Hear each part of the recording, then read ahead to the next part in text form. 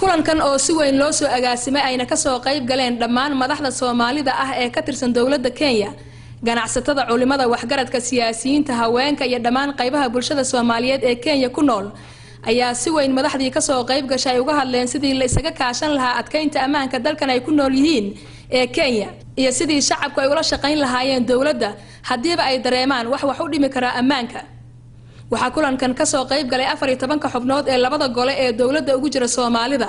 Waxaanay dhammaantood xuseen sida ay dowladdu uga go-an tahay inay ammaankeeda adkayso iyo mas'uuliyadda shacabka looga baahan yahay haatan oo kale iyo xuquuqda iyo waajibaadka shacabku ay ku leeyihiin dowladda.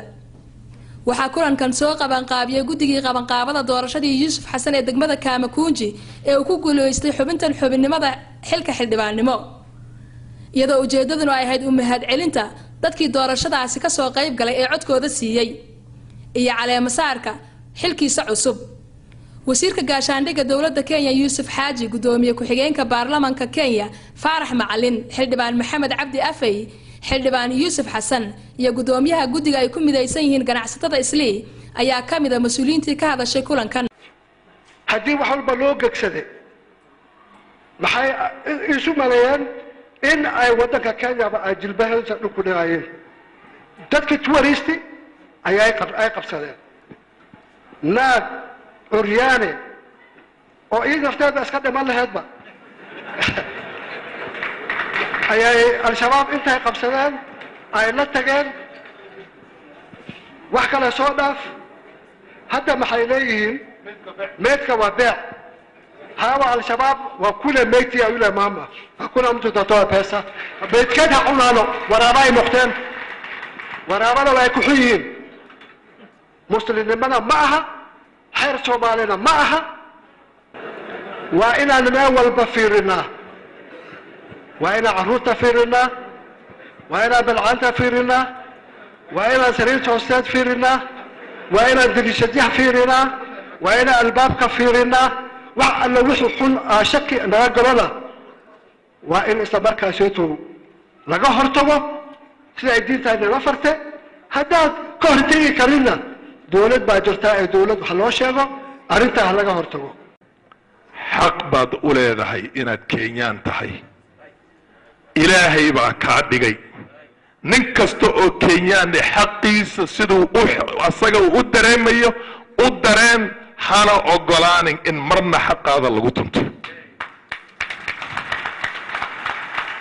Hana ogolaanin. Waadna wada garanaysaan. Wax yar meeshan fariisa magacaada keen irinkaada keen ninka soomaaliga haddii la dhahaa soo wax dembiga u galay aanan jirin yuu markiiba jeebashiisa qufaya. Joojiya jeebasha la qufayo. Waddankii hadduu dhib uu ku dhaco dhibkii wuu nagu dhici. Hadduu burburo wuu inaga burburi خسارته أقوى ما قبلنا مركا واجب. أيا نقصار نان دولة أنا ضل شقينه. ضدك وضن كنا أنت بدينه قوة على شيء ديق أن ولا إنه حقك كلنا أكبد بعدنك قال هذا نيتو مشركين تو مرتزقين تو إله النصو ما أنت ما يسوق قبت عن كبريان الله بريان. أو ماشي الله عرر لها. أو مركي وحلا السماء اللي وعيبا إلهي نور نقدان بيسو معرضة ده مركي التبر بيلان بإلهي ونقدان ilaahay u noqoshada masaajidka ku noqo qur'aankana qarso. Masaajidkii bay naga degeen. Meeshii aan ku carari lahayn marka dhibka ugu dambe u gaaro yay naga degeen oo qoryo qaateen.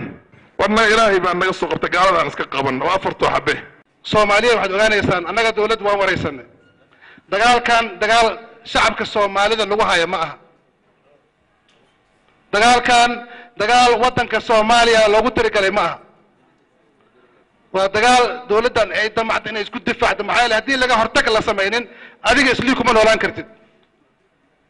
Adiga becsharo islii kuma samaysan kartid. Marka hortagaas aan loo fahmin cadaawad soomaaliya iyo kenya ka dhexaysa inay meeshaas ka dhalanayso.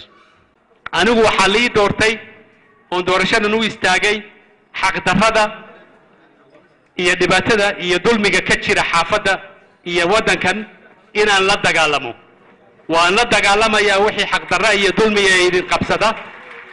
Diyaar baanan u ahay iminkana. Wixii xadgudub xadgudbida ee ka dhaca inaan ka hadlo kana dacwoono. Nin walba wuu og yahay waana yaqaan dad badan oo xarakaadka al-shabaab ee soomaaliya jooga inay dhulkan waddankan ay ku leeyihiin dad naxariis u ahayoo badan inay jiraan. Dad kaalmeeya inay jiraan. Dad kale oon kenyaan aheenna inay ka mid yihiin al-shabaab. Soomaali keliya ma al-shabaab qolo walbaa ku jirta.